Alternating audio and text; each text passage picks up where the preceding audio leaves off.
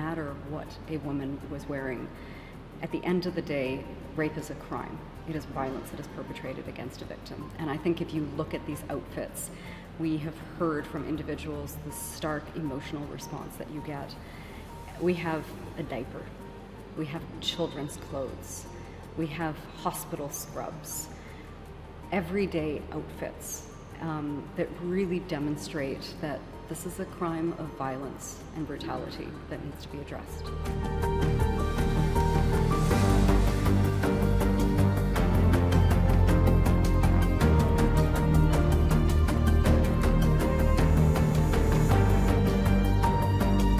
We've proven the impact of this model.